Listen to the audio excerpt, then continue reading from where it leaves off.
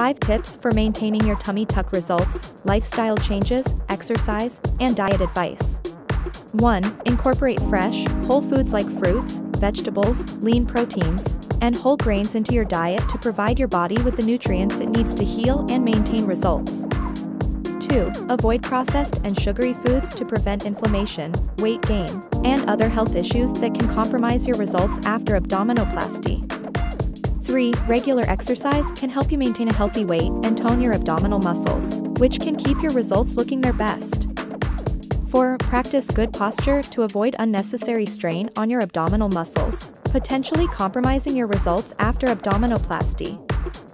5. Stay hydrated by drinking plenty of water to help flush toxins from your body and support overall health, which can in turn help you maintain the results of your abdominoplasty surgery.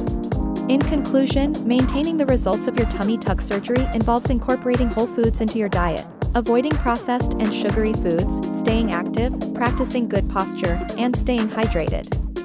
By following these tips, you can help ensure that your results last for years to come.